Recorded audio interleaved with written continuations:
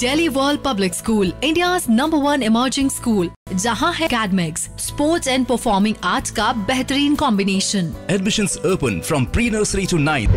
हमें बहुत खुशी हो रही है कि मैडम ने आज ये इतना शुभ कार्य किया है हम दो महीने से पेंडिंग जो हमारा काम पड़ा हुआ था तो मैडम की त- आज मैडम की हाथों से शुभ हाथों से आज हम जा पा रहे हैं उनका बहुत बहुत धन्यवाद ताकि हम सब अपने पितरों का तर्पण कर सकें और कल जो अच्छा दिन है एक अमावस्या का उसमें मैडम ने एक सही समय पे सही काम किया है। उनका उनको बहुत अच्छा फल मिलेगा और मैडम का बहुत बहुत आभार बहुत बहुत धन्यवाद। क्या हो लॉकडाउन में जैसे कि अस्थियाँ हिंदू धर्म में बहुत हिंदू धर्म में अस्थियों का बहुत महत्व है उनका विसर्जन जब तक अपन अपने परिवारजनों का विसर्जन नहीं कर पाते उनकी अस्थियों का तर्पण नहीं कर पाते हैं तब तक हम हमें हमारा ये मानना है कि उनका मन को शांति नहीं मिलती है उनको शांति नहीं बहुत अच्छा कार्य हो रहा है कि सही समय पे इस लॉकडाउन में हम उनको सही समय पे भी- अस्थियाँ विसर्जित करने जा रहे हैं। Thank you ma'am thank you so much ma'am हाँ। जी मैं मेरी सासू माँ की अस्थियाँ लेके जा रही हूँ और मुझे बहुत खुशी है कि ये काम मेरे हाथों से और मैडम के इस लॉकडाउन में हो रहा है। मैम को बहुत बहुत आभार बहुत बहुत धन्यवाद। Thank you so much ma'am मेरा नाम ममता टाक है मैं नर्सिंग स्टाफ हूँ। हरिद्वार जा रहे हैं साहब अनीता है कैसा लगा बहुत बहुत बढ़िया लगा बहुत अच्छा प्रोग्राम इनका। बहुत बहुत धन्यवाद साहब किनको लेके जा रहा था? आप किन मामा जी। कब हुई थी इनकी डेथ? और कब से? तीन तीन तीन महीने पहले।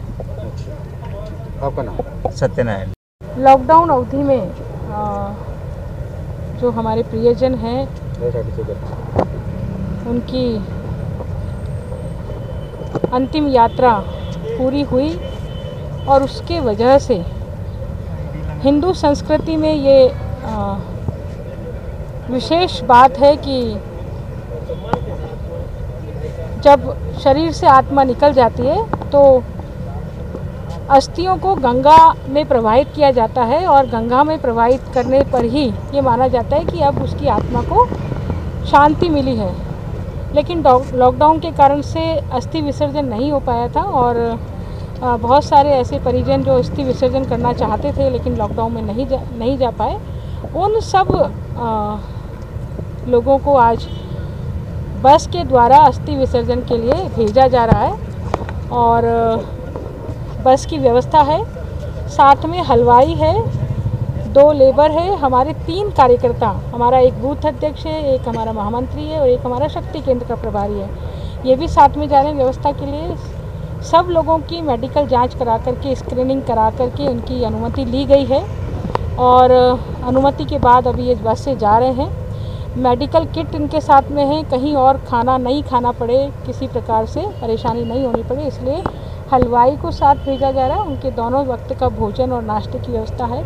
हरिद्वार में अस्थि विसर्जन के पश्चात जब लौटेंगे तो सीधे पुष्कर जाएँगे और पुष्कर में स्नान आदि के पश्चात ही वो अपने घर लौटेंगे। तो ये पूरी व्यवस्था अजमेर दक्षिण के कार्यकर्ताओं द्वारा की गई है और ये पुण्य सबको प्राप्त हो, ये अस्थि विसर्जन करके हम हमारी परिजनों की आत्मा को शांति दिलाएँ, इससे बड़ा और कोई पुण्य का काम हो नहीं सकता है।